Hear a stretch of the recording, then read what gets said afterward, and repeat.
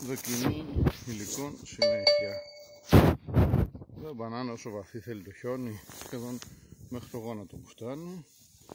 Αλλά χάρης στις νορβηγικές γαλοτσάρες μου.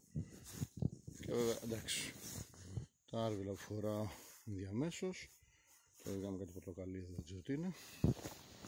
Δεν καταλαβαίνω τίποτα.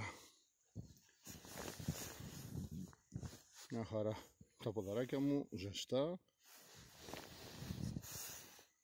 είμαι τουλάχιστον 20 λεπτά μέσα στο χιόνι και δεν έχω νιώσει κρύο.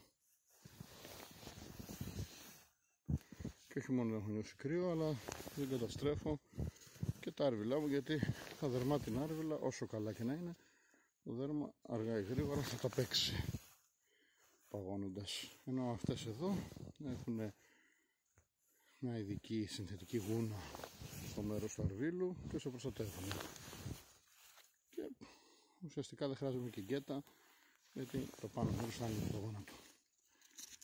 Αυτά και στο Πανιδίν με ακόμα περισσότερα υλικά για τα δύσκολα και για τα εύκολα, για τα ωραία και για τα άσχημα, όπως το εγώ